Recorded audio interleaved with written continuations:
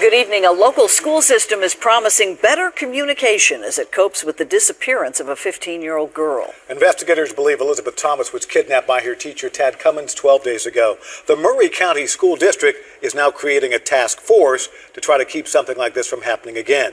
Meanwhile, Channel 4 has uncovered new information about where Elizabeth and Cummins were allowed to go together after they were allegedly caught kissing in a classroom. Channel 4's Carly Gordon reports.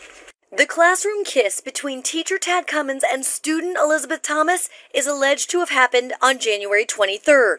The school district says they launched their own investigation, and they say four days later they removed Elizabeth from Cummins' classroom.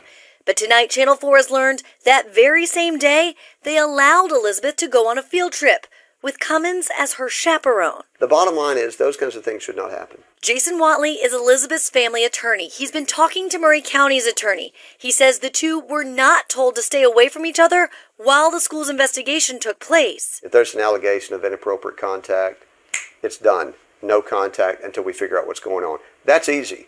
That's easy. We're making this way more complicated than it needs to be. We asked how Elizabeth's family is reacting to the discovery. His reaction is outrage.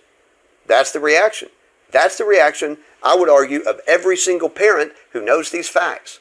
Every single one. The Maury County School District Superintendent Dr. Chris Marczak continues to deny our request for an interview. But today the district sent a statement saying all policies and procedures were followed. They also announced the creation of a task force designed to improve how they react and how they communicate with the public when bad things happen at school. The fact of it is, you don't need a task force to tell you to notify parents if there's an allegation that your daughter has been kissed by a teacher. That's easy. That's really easy. How about this? We'll have that meeting right now.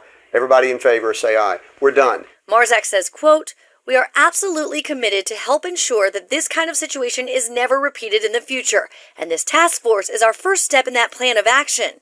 Tonight, Whatley wants the focus to remain on finding Elizabeth. He says his office has now launched their own investigation. Things that she said, things that she said to other students and friends and people at the school about what her intentions were or what Tad Cummins said. We need this information and we need it desperately.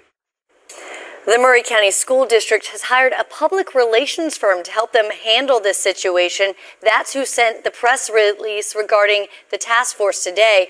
We want to know how much the district is paying for these PR services. The firm tells us they're still negotiating the costs. Just within the last hour, the Maury County Superintendent sent an email to parents regarding the task force. We have it posted on our website, WSMV.com. Dimitri.